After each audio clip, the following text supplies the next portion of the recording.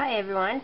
Um, okay, I'm going to make a uh, my very first milk soap because I really I really wanted to try it. Um, so in order to make a milk soap, I have to use the cold process method. I've never um, done cold process before though, so this will be my first time. Um, in order, because you need to use the cold process method, um, the reason behind it is because uh, if you use hot temperatures with milk, you may scald the milk or burn it and the result is usually smelly soap um, that is brown. And I don't want smelly soap that's brown. Uh, brown I don't mind but um, because I don't use any um, heavy fragrance oils or anything like that in my scent I can't cover up that smell. Uh, so, that's my in the background. So, um, I looked and researched for the way to do milk soaps and I didn't find very much information.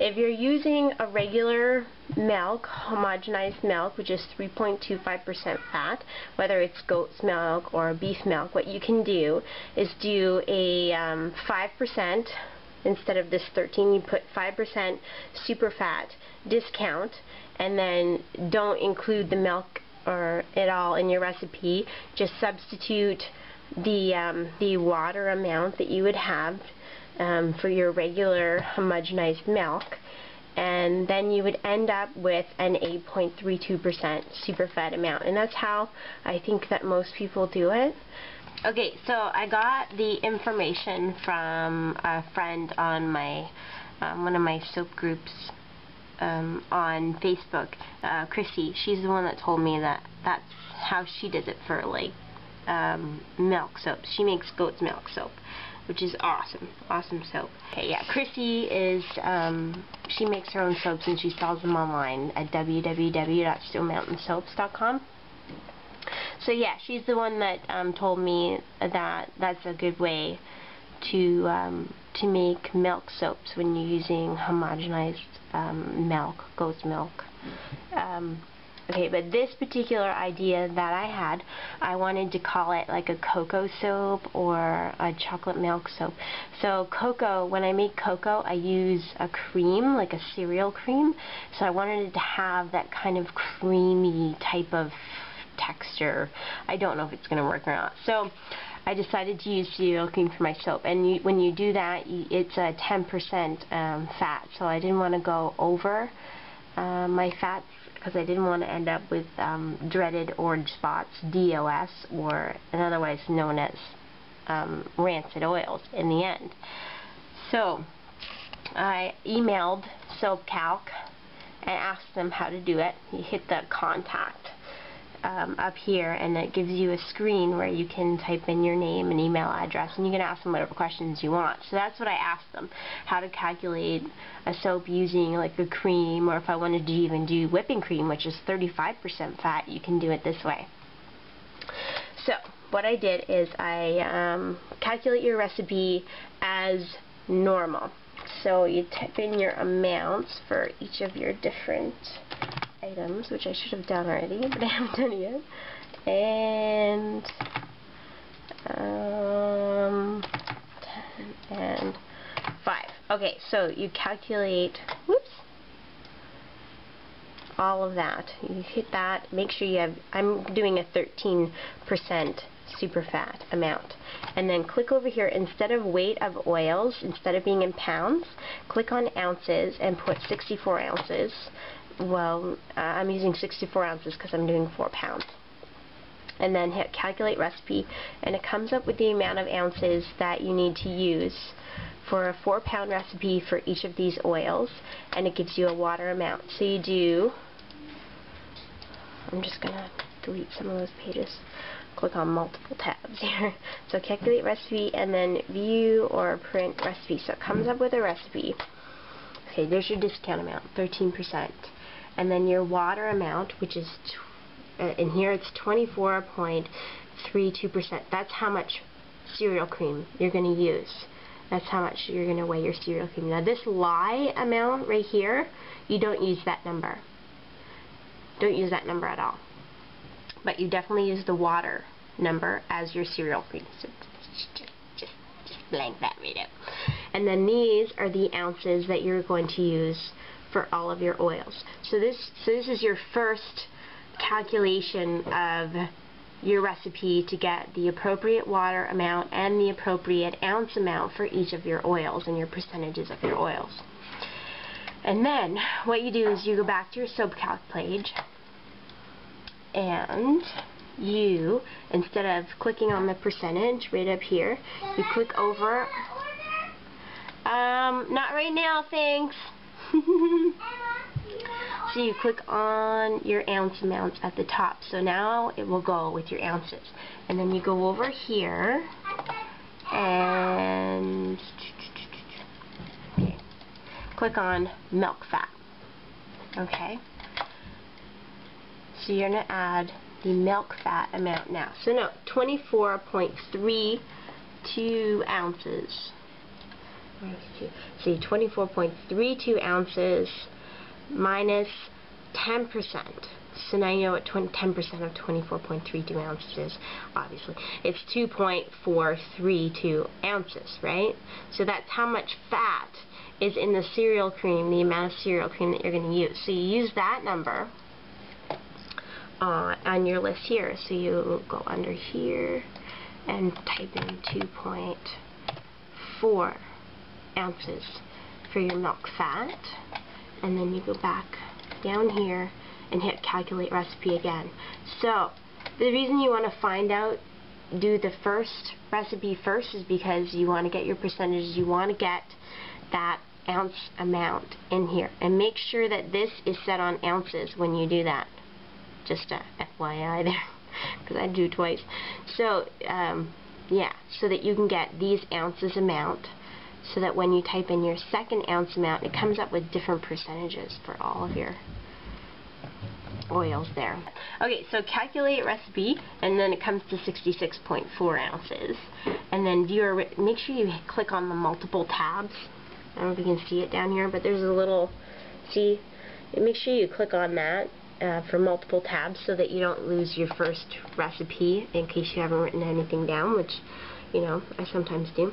And then you click on View or Print Recipe, and it comes up with um, another screen. So, this is the accurate um, calculation, the more accurate calculation. So you're not going to use that water amount. You're going to use the first amount of 24.32 ounces that you got originally, right? Just cross that out. But the lye amount for this recipe is what you're going to use um, to measure out your lye. This is the number you're going to use, 8.556%, or 8.556 ounces. That's the amount you're going to use for your recipe. That is the accurate amount of lye needed to saponify all these oils less 13%. And for when you're calculating how hard or cleansing or conditioning or whatever your soap is going to be, these are the accurate amounts. This is what's actually going to be the final amount of these are going to be the amounts that are accurate for your your final soap. Anyway, so I just wanted to show you guys that because I thought it was really um, useful information. It took me a while to figure it out. Um, and um, it actually, I actually ended up going through um, like probably four different ideas for recipes. So it took a while to figure this one out. Um, and I haven't even tried it yet. Um, I'm going to try it um, tonight is going to be my first time trying it and I'm going to film it so you'll get to see me making my first cold process recipe and uh, but I just wanted to share this with you first. Oh, that my look, Maya gave me a little row of rocks. How pretty. Say hi. Hi. Thank you very much, Maya. anyway, thank you for watching and bye. How much cereal cream you're going to use. That's how much you're going to weigh your cereal cream. Now this lye amount right here, you don't use that number. don't use that number at all. But you definitely use the water number as your cereal cream. So just, just, just blank that right out. And then these are the ounces that you're going to use for all of your oils. So this, so this is your first calculation of your recipe to get the appropriate water amount and the appropriate ounce amount for each of your oils and your percentages of your oils. And then what you do is you go back to your SoapCalc page and you, instead of clicking on the percentage right up here, you click over, um, not right now, thanks. so you click on your ounce amount at the top. So now it will go with your ounces. And then you go over here and okay, click on milk fat. Okay? So you're going to add the milk fat amount now. So no, 24.32 ounces. See, 24.32 ounces minus 10%. So now you know what 10% of 24.32 ounces is, obviously. It's 2.432 ounces, right? So that's how much fat is in the cereal cream, the amount of cereal cream that you're going to use.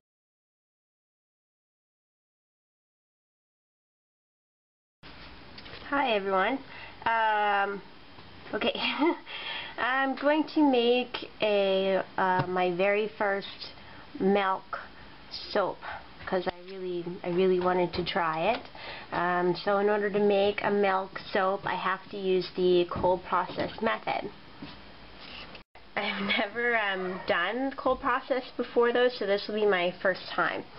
Um, in order, because you need to use the cold process method, um, the reason behind it is because uh, if you use hot temperatures with milk, you may scald the milk or burn it and the result is usually smelly soap um, that is brown. And I don't want smelly soap that's brown. Uh, brown I don't mind but um, because I don't use any um, heavy fragrance oils or anything like that in my scent I can't cover up that smell. Uh, so that's my in the background. So um, I looked and researched for the way to do milk soaps and I didn't find very much information. If you're using a regular milk, homogenized milk, which is 3.25% fat, whether it's goat's milk or beef milk, what you can do is do a 5% um, instead of this 13 you put 5% super fat discount and then don't include the milk or at all in your recipe just calc and ask them how to do it. You hit the contact um, up here and it gives you a screen where you can type in your name and email address and you can ask them whatever questions you want. So that's what I asked them, how to calculate a soap using like a cream or if I wanted to even do whipping cream which is 35% fat, you can do it this way. So what I did is I um, calculate your recipe as normal. So you type in your amounts for each of your different items, which I should have done already, but I haven't done yet. And um, 10 and 5. Okay, so you calculate, whoops, all of that. You hit that, make sure you have, I'm doing a 13% super fat amount. And then click over here, instead of weight of oils, instead of being in pounds, click on ounces and put 64 ounces. Well, uh, I'm using 64 ounces because I'm doing 4 pounds. And then hit calculate recipe, and it comes up with the amount of ounces that you need to use for a 4 pound recipe for each of these oils, and it gives you a water amount. So you do, I'm just going to delete some of those pages click on multiple tabs here. So calculate recipe and then view or print recipe. So it comes up with a recipe. Okay, there's your discount amount, 13%. And then your water amount, which is, uh, in here it's 24.32%. That, so you use that number uh, on your list here. So you go under here and type in 2.4 ounces for your milk fat and then you go back down here and hit calculate recipe again. So the reason you want to find out do the first recipe first is because you want to get your percentages. You want to get that ounce amount in here. And make sure that this is set on ounces when you do that. Just a FYI there, because I do twice. So, um, yeah, so that you can get these ounces amount so that when you type in your second ounce amount, it comes up with different percentages for all of your oils there. Okay, so calculate recipe, and then it comes to 66.4 ounces. And then viewer, make sure you click on the multiple tabs. I don't know if you can see it down here, but there's a little, see, make sure you click on that uh, for multiple tabs so that you don't lose your first recipe in case you haven't written anything down, which, you know, I sometimes do. And then you click on view or print recipe, and it comes up with um, another screen. So this is the accurate um, calculation, the more accurate calculation. So you're not going to use that water amount. You're going to use the first amount of 24.32 ounces that you got originally, right? Just cross that out. But the law substitute the um, the water amount that you would have um, for your regular homogenized milk and then you would end up with an 8.32% superfat amount and that's how I think that most people do it. Okay, so I got the information from a friend on my um, one of my soap groups um, on Facebook, uh, Chrissy. She's the one that told me that that's how she does it for like um, milk soap. She makes goat's milk soap which is awesome. Awesome soap. Okay, yeah, Chrissy is, um, she makes her own soaps and she sells them online at www.stonemountainsoaps.com. So yeah, she's the one that um, told me that that's a good way to um, to make milk soaps when you're using homogenized um, milk, goat's milk. Um, Okay, but this particular idea that I had, I wanted to call it like a cocoa soap or a chocolate milk soap. So cocoa, when I make cocoa, I use a cream, like a cereal cream. So I wanted it to have that kind of creamy type of texture. I don't know if it's going to work or not. So I decided to use cereal cream for my soap. And you, when you do that, you, it's a 10% um, fat. So I didn't want to go over uh, my fats because I didn't want to end up with um, dreaded orange spots, DOS, or otherwise known as um, rancid oils in the end. So I emailed